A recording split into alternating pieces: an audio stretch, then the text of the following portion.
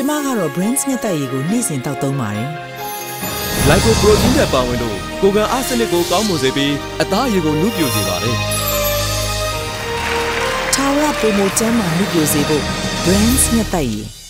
စင်တွင်းမြေဟာစကားနာဒေသကြီးအတွင်းမှာရှိတဲ့ခန်းဒီနဲ့ဟုံးမလင်းမြို့တွေမှာပြီးခဲ့တဲ့ဇွန်လလအတွင်းကမြင့်တက်ခဲ့တဲ့အမြင့်ဆုံးရေမှတ်အထက်ကိုကျော်လွန်ရောက်ရှိလာပြီဖြစ်ပြီးရေဘေးကြောင့်ပြောင်းရွှေ့ရသူဥယေဟာလည်း2500ကျော်အထိရှိလာပြီဖြစ်တယ်လို့သိရပါဗျ။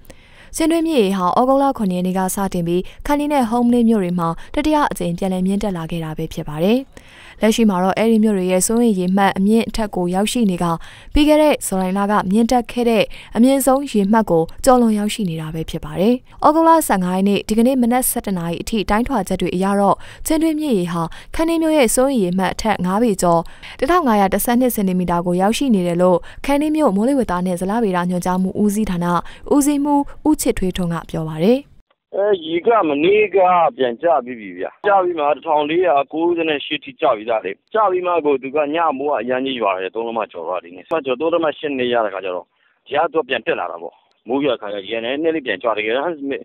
ညကမိုးသားမရွာခဲ့ရင်ကျွန်တော်ထင်တယ်ခုချိန်ဆိုလို့ရှိရင်တော့တပေနင်းနီးတော့တော့ပြုတ်ကြမှာပေါ့မိုးကရွာတဲ့ခါကျအဲ့မိုးရေမိုးဟောနဲ့တောက်လျှောက် မိုးရွာတဲ့ချိန်နဲ့ကွက်တီပဲည7နာရီနောက်ပိုင်းမှာပြန်တက်လာချက်ကတော့ဟိုနေ့က information ကတနိုင်းကလည်းသူတို့ကပြန်ကြပြီပြောတယ်မိုးရပြီးတော့ပြန်ကြပြီနော်ဟိုတနိုင်းဘက်တော့ဒါပေမဲ့ဒီတဝက်ပေါ့လေတနိုင်းနဲ့ကျွန်တော်တို့ဂျားထဲမှာရှိတဲ့ဒီ site တီးတို့တကားတို့တကုန်းသားတို့ရွှေမျောလုပ်တဲ့နေရာကဖုန်းသတင်းအရာကတော့သူတို့စီမှာတော့ရွာသေးတယ်ပေါ့နော်ချောင်းနေမြောင်းနေလည်းရေတွေအပြည့်ပဲဆိုတာမျိုးတော့ သိရတယ်။ခန်ဒီမျိုးမှာအော်ဂိုလာတရနေ့ကစတင်ပြီးနေရာကွက်ကမိုးတီးထန်စွာရွာသွန်းခဲ့ကအော်ဂိုလာ6ရက်နေ့ကနေအော်ဂိုလာ17ရက်နေ့အထိမိုးရေချိန်လက်မ30ကျော်ရွာသွန်းခဲ့ပါတယ်။အော်ဂိုလာ9ရက်နေ့ကစတင်ပြီးချင်းတွင်းမြေပြန်လည်မြင့်တက်လာခဲ့တာဖြစ်တယ်လို့လည်းသိရပါတယ်။ ချင်းတွင်းမြေမြင့်တက်လာတာကြောင့်ခန်းင်းမြို့တဝက်နီးပါးခန့်ရေနှင်းမြုပ်နေပြီးမြို့အတွင်းလေတွေနဲ့သာသွားလာနေရကခန်းင်းမြို့အတွင်းမှာရှိတဲ့စာတင်ကျောင်းပေါင်း22ကျောင်းကိုယာယီပိတ်ထားရတယ်လို့သိရပါဗျ။အဲဒီလိုခန်းင်းမြို့တဝက်နီးပါးရေနှင်းမြုပ်နေတာကြောင့်ဩဂုတ်လ12ရက်နေ့ညနေကစတင်ပြီးရေဘေးကယ်ဆယ်စခန်း9နေရာဖွင့်ထားရသလိုရေဘေးရွှေ့ပြောင်းနေရသူဥယေဟာလည်း2500ရှိလာပြီဖြစ်တယ်လို့သိရပါဗျ။ ကယ်ဆယ်ရေးစခန်းတွေအခြေအနေနဲ့ပတ်သက်ပြီးလူမှုဝန်ထမ်းကယ်ဆယ်ရေးနဲ့ပြည်လည်နေရာချထားရေးဝန်ကြီးဌာနကယ်ဆယ်ရေးနဲ့ပြည်လည်နေရာချထားရေးဦးစီးဌာနခန္တီးခရိုင်ဦးစီးမှုရုံးမှဦးတုဒဆိုးကအခုလိုပဲပြောပါရယ်။နေ့ရရတဲ့စီးချင်းတီပေါ်မှာအင်ဂျီကနှုတ်က945အိမ်အောင်စုပေါ့နော်။မော်လေးကလူကြီးရ2500ကစံစံတစ်ပတ်စာထောက်ပံ့နေတယ်ကျွန်တော်တို့ဌာန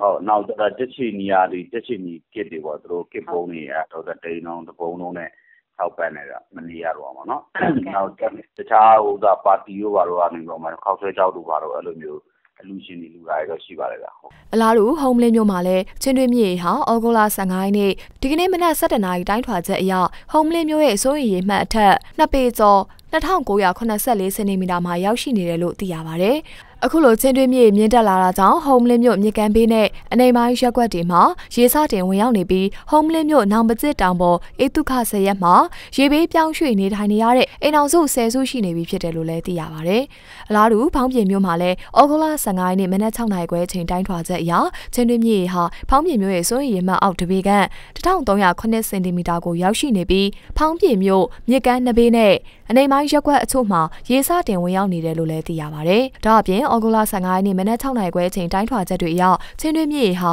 မော်လိုက်မြို့မှာ1182စင်တီမီတာကလေးဝမြို့မှာ1409စင်တီမီတာမင်းကင်းမြို့မှာ1236စင်တီမီတာကဏီမြို့မှာ1024စင်တီမီတာနဲ့မော်ရမြို့မှာ898စင်တီမီတာကိုမြင့်တက်ရောက်ရှိနေတယ်လို့မိုးလေဝသနှင့်စရာဗေဒညွှန်ကြားမှုဦးစီးဌာနကထုတ်ပြန်ထားပါတယ်။ချင်းတွင်းမြစ်မြင့်တက်လာတဲ့အတွက်ချင်းတွင်းမြစ်အတွင်းရေချောင်းသွားလာမှုတွေကိုဩဂုတ်လ16ရက်နေ့ကနေ20ရက်နေ့အထိယာယီပိတ်ထားမှာဖြစ်တယ်လို့မော်ရမြို့နယ်ပုဂ္ဂလိကရေရင်များစနစ်တကျပြေးဆွဲကြီးကြပ်ရေးကော်မတီမှဌာနမှူးဦးတောင်ညွန့်ကပြောပါရယ်။